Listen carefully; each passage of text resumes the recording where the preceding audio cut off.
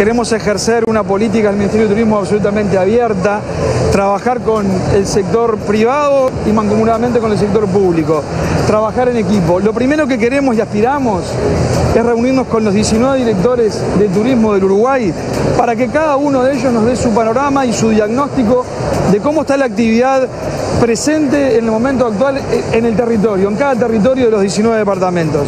Creo que el corte de puente fue un hecho mucho más grave que el que tenemos hoy, eh, siendo eh, el de hoy un problema importante porque estamos con una diferencia cambiaria enorme con la Argentina.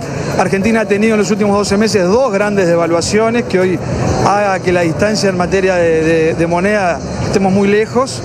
Eh, a esto el impuesto del 30%, lógicamente que complica mucho más la situación. Ahora, las comparaciones son para quien las hace el análisis de las mismas.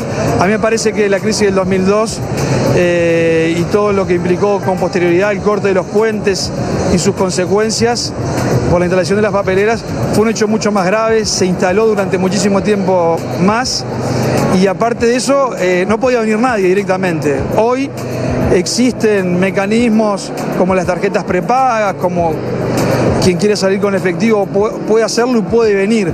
Hay otras posibilidades para llegar que en aquel tiempo no había ningunas.